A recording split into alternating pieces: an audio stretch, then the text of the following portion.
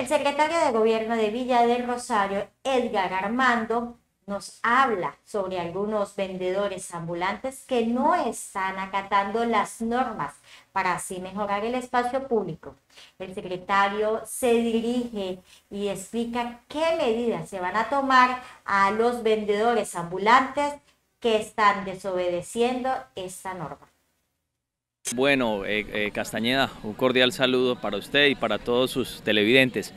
Es una eh, situación que nos preocupa porque parece ser de que ciertas personas desobedientes o que no acatan las órdenes, pues mm, no han entendido el mensaje que nosotros le hemos dado que fue dar una alternativa a los vendedores informales del parque. La alternativa, concretamente, ¿cuál fue?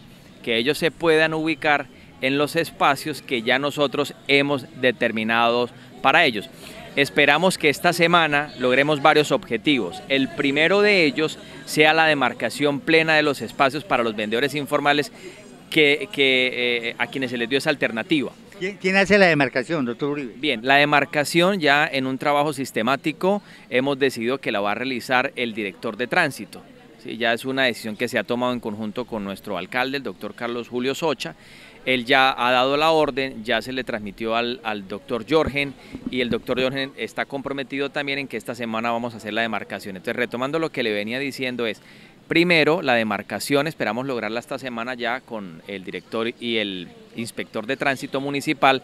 Segundo, eh, ya esperamos también que la gente haya aprovechado esta Semana Santa para reflexionar y que en medio de esa reflexión de ahora en adelante puedan acatar las órdenes que como administración municipal hemos, eh, hemos dado so pena de que sean sujetos de las respectivas sanciones eh, por, exacto, por ocupar los espacios que están, digamos, reservados para los vendedores informales. Doctor, mire, la Policía Nacional, ellos hacen un trabajo, pero no tienen las herramientas porque, porque muchas veces eh, las personas le toman el pelo a las mismas autoridades.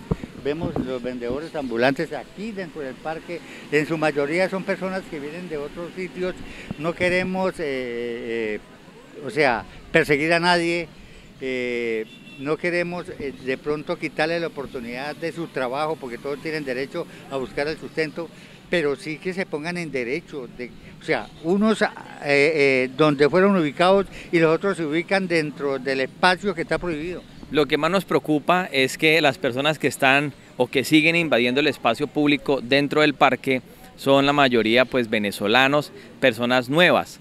Las personas de vieja data, los vendedores informales de mayor experiencia, usted los puede observar, ellos siguen cumpliendo a cabalidad con las alternativas que nosotros les hemos brindado. Ahora, antes de entrar a Semana Santa, junto con eh, la Policía Nacional, en representación del teniente y del mayor, eh, realizamos diferentes, o ellos realizaron diferentes comparendos a esos vendedores que no están acatando.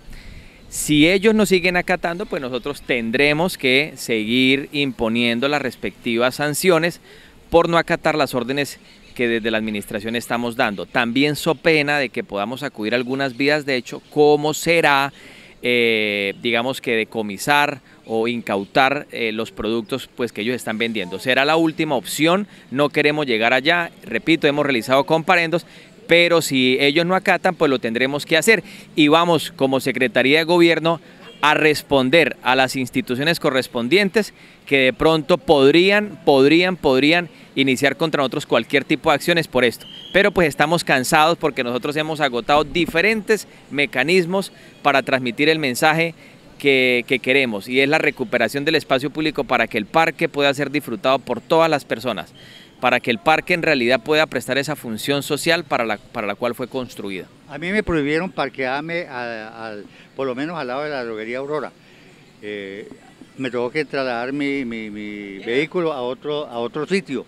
Lo estoy haciendo por respetar las normas, por acatar. Pero si usted voltea a su izquierda, doctor, puede ver que ese espacio eh, está copado por motorizados. Y los señores de tránsito, los señores promotores, se pasean, se, se, se, sientan a tomar sus refrescos y, no, no, no hacen cumplir esa orden que fue mandada por ustedes, las autoridades del municipio. Sí, ese es otro punto que se me olvidó y gracias por recordarme.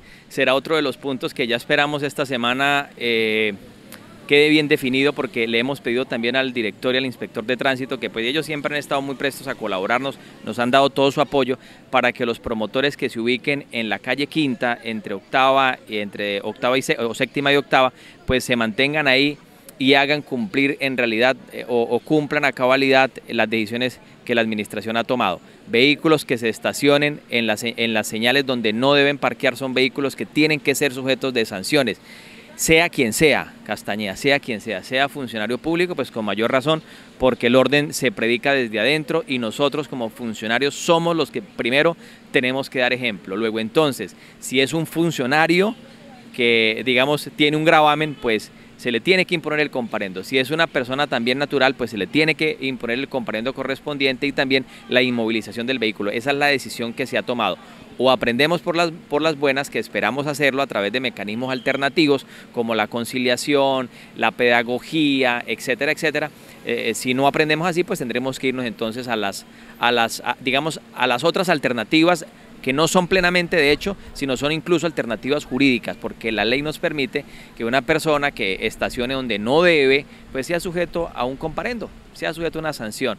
Eh, si no lo hacemos en el parque principal Los Libertadores, pues no lo vamos a hacer en ninguna parte. Entonces, coloquémosle orden, yo os invito a que, a que, a que la, la comunidad de Villa del Rosario pues comience a respetar las decisiones que nosotros hemos tomado. Por lo menos, mientras yo esté como secretario de gobierno, la excepción, o, no vamos a tener excepción con absolutamente nadie. De hecho, si algún funcionario público de nuestra administración está parqueando en un lugar indebido, que por favor se comuniquen conmigo y automáticamente eh, esa persona, ese funcionario, será sancionado porque es la orden que incluso el alcalde eh, ha tomado.